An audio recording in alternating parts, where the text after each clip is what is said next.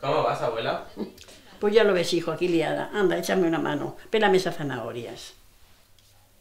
¿Y qué más te falta? No lo vas a hacer solo con esto, ¿no? Pero ¿cómo lo voy a hacer solo con esto, hijo? Si esto lleva mucho más cosas. Si no, no ibas a ver a nada. ¿Y para qué vamos a hacer una sosería con todo lo que hay aquí? Y bueno, habrá que aprovecharlo, ¿no? Vamos, digo yo. ¿Y cómo se hace?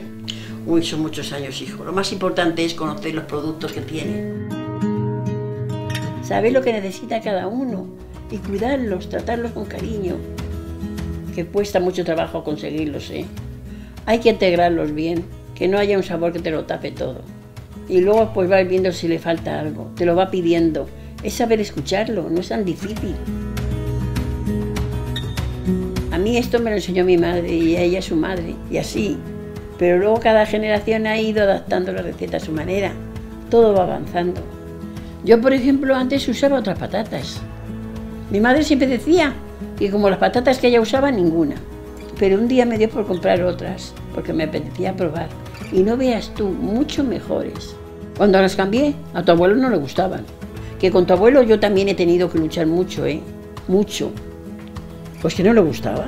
Y yo le decía, pero espera, anda, pruébalo. Y ahora verás cómo se pone morado. No hay que tener miedo a cambiar, hijo, si no uno se queda estancado. Siempre se puede mejorar. Otra vez con la pantallita. Anda, ya que estás, dile a tu abuelo que suba pan. Que aquí todos tenemos que colaborar. No vale venir a mesa puesta. Mira, cuando el fuego está tan fuerte, hay que bajarlo para que no se te agarre. A veces, si ves que está demasiado caliente, le tienes que echar un chorrito de agua fría para que repose un poco y todo se recomponga. Aquí no valen atajos ni golpes de mano, hijo. Así no sale bien. Hay que darle su tiempo y hacerlo respetando cada ingrediente. Porque si se te quema un ingrediente, se echa todo a perder. ¿Y esto, abuela, no lo vas a echar? Esto lo hago aparte porque a tu hermana no le gusta. Luego cada uno se lo echa y ya está. Si no pasa nada. Aquí todos tenemos que estar a gusto. No puedes pretender que a todo el mundo le guste lo que te gusta a ti, ni que todo el mundo sea como tú quieres. En la vida es inútil intentar imponer hijo. Al final lo de verdad siempre reaparece. Y no te olvides de una cosa. Todo esto es para disfrutarlo juntos.